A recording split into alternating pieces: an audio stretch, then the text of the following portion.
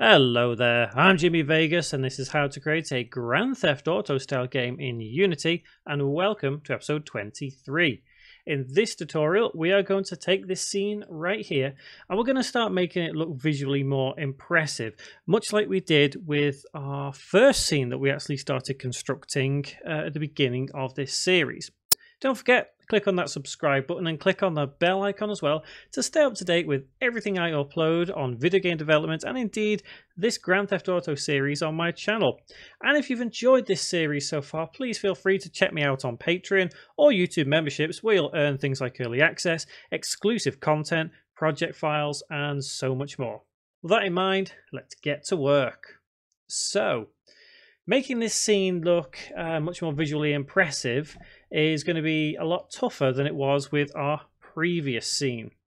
The reason I say that is because the previous scene we were restricted in what the player could see, and it was a very enclosed environment. This is a big, or it's rather, it's going to be a big, huge open environment. And that means we're going to have to make some changes to our post processing. If you remember, we went through all the post processing again, and I'm, I'm not going to repeat all of that once again, but there are some things that I'm going to go through and tell you why we do need to change it and have it different in this scene. So, first and foremost, I think we need to assess the sky and change it from just the plain skybox to a different one.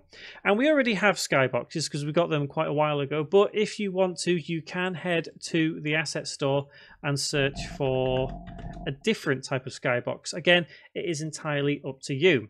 Rather than waste time though, I'm going to use a skybox we already have. However, I may need to change it depending on how our post-processing turns out in this tutorial.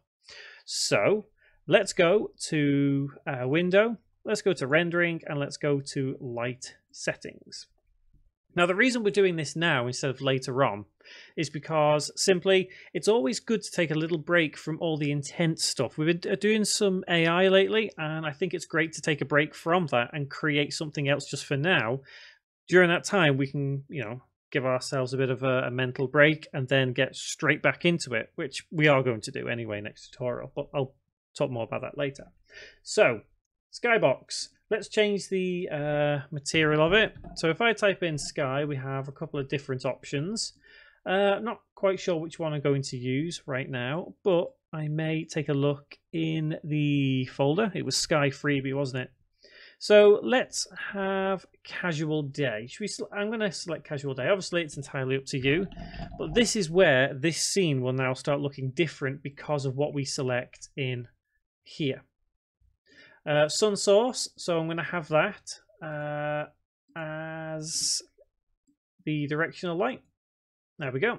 So we just drag and drop that onto there. It's not going to make too much of a difference now, but later on in development, it will. We'll, we'll see how later on because you you'll see the effects anyway. So let's go to our camera, uh, which follows our player, as we know and let's attach that post-processing to it. So if we go to our post-processing folder and runtime, and let's add that post-processing runtime script to the camera. Now, I am going to add the original post-processing profile here, and then we should be able to see some kind of difference in the scene once we go up here and, oh, sorry, deactivated, so that's fine.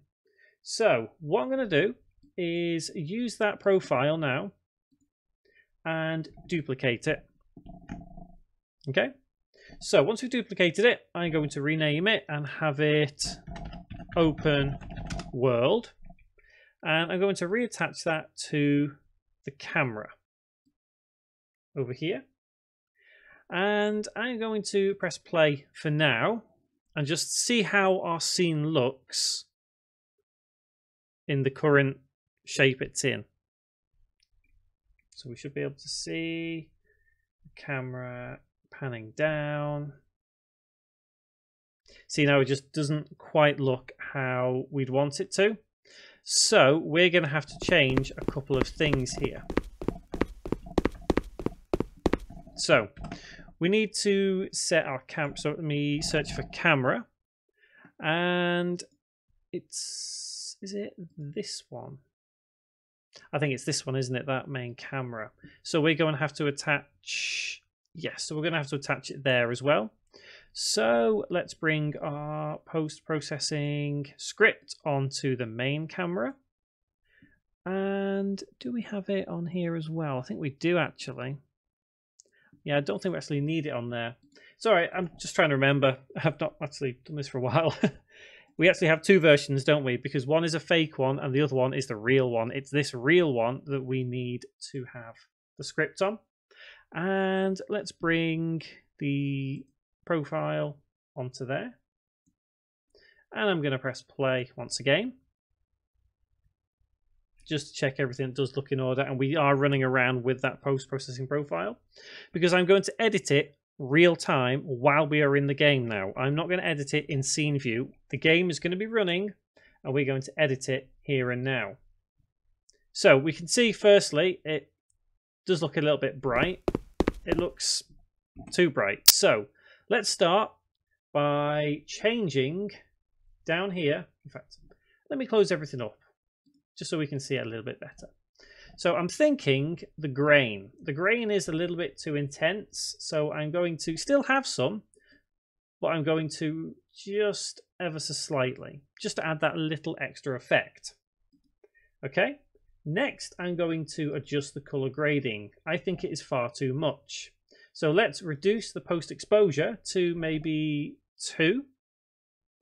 Mm, not convinced about that. Maybe maybe keep it as three, but let's bring the contrast down a touch and the saturation. Ah, cool. and the saturation about there. Next, I'm going to change the bloom. I think bloom. Uh, I, I am a fan of bloom. Don't get me wrong, but in cases like this, it is too much. If we were to change the bloom intensity right down, we can see just how much of an impact it does have. Now, we do want some bloom, but obviously not too much. So I'm going to have it 1.5 for now. And obviously, you can work with this uh, in, in a different kind of way. Radius, we can reduce. And soft knee, reduce ever so slightly. Oh, is our NPC having a good wander around. Okay, next you could, if you wanted to, add some eye adaptation. I guess it depends how you want your game to look. Uh, I'm going to miss it out for now. Motion blur, I'm going to keep as it is. Screen space reflection. We're not going to really use this right now, but we will in the future.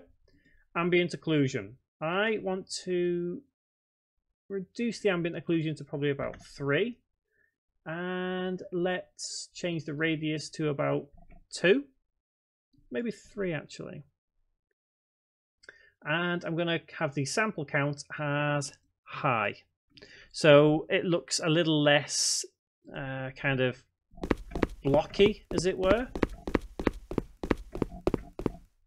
So now we're at the stage where it looks a little bit too dark in places like this. So we need to now work with the um, color grading just a little bit to get a little bit more light in here. I'm going to reduce the temperature ever so slightly, maybe re-increase the saturation and contrast, or rather decrease I should say, just a little bit. And I'm going to add a touch more bloom on the intensity. How much? Yeah. So just a touch more bloom. But I think the ambient occlusion, if we bring it down to about there, I think. Okay.